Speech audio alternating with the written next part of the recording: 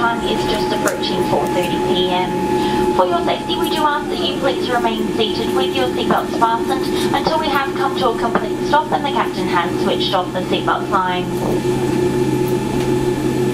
As we are disembarking via an aerobridge today, if your mobile phone is within reach, you may now turn it on.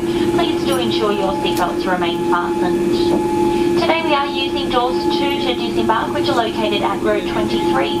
Please follow the directions of the Jetstar cabin crew and staff. A reminder that smoking is strictly prohibited. Please also take care when opening overhead lockers as some items may have moved throughout the flight. And once again, ladies and gentlemen, for those passengers continuing on JQ35 through to Denpasar, please disembark, take all your hand luggage with you and proceed through the transit area here in Melbourne.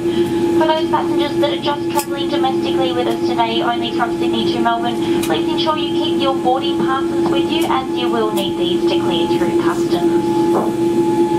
And on behalf of Captain Ross Cocker, Captain Craig Golich, Captain Matt Robinson, and the entire team, I'd like to I'd like to thank you for choosing to fly with Jetstar today.